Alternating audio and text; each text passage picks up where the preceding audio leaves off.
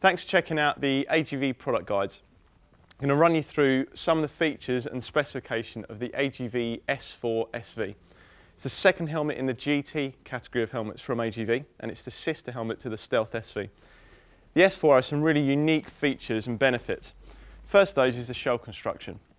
The shell on the S4 is called carbon glass. It's a brand new construction from AGV and it's a mixture of carbon fibre and fiberglass, balanced to give you the maximum level of safety. Make sure the helmet is very, very light, very well balanced. Means we can have on the helmet the integrated sun visor. We also have the integrated ventilation system. So you have channels hollowed through the shell to give the helmet maximum airflow and minimum noise. Very, very easy to operate twin intakes on the front of the helmet with extractors down the side to pull the air around the whole of the surface area of the inner of the helmet. The S4 SV features the GT2 visor system, which is a fog-free visor, and also the integrated sun visor system. Very simple. Cheek pads are held in with three retaining pop studs and remove. And headlining equally simple, four retaining pop studs, two on the front and two on the rear. And take the headlining out. To replace, basically work in reverse, very simple. Put the headlining into place and push your pop studs back in.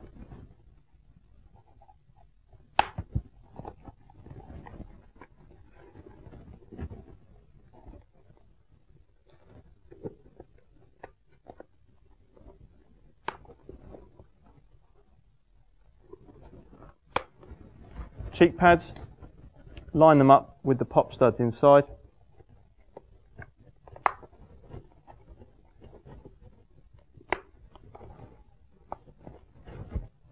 Again, same on both sides.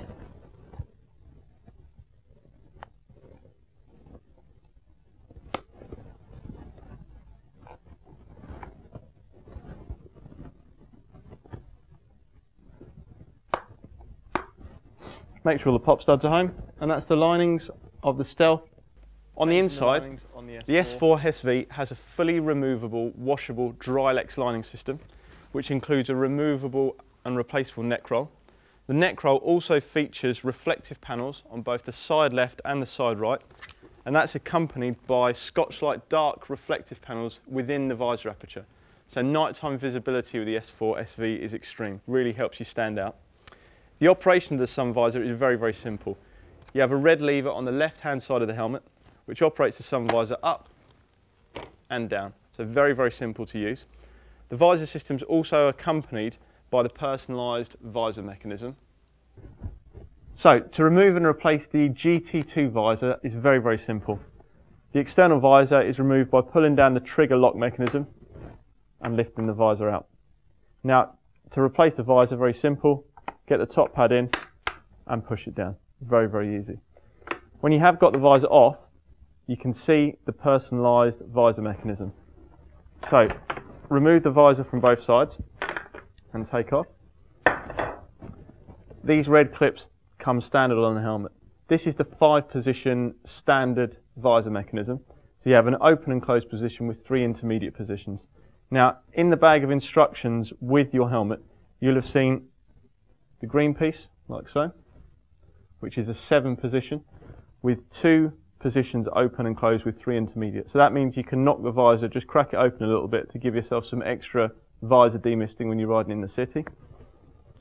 Or the blue piece for sports riding, which just has the open and closed position and it's completely smooth. So the visor is just in the open or locked position with no intermediate positions.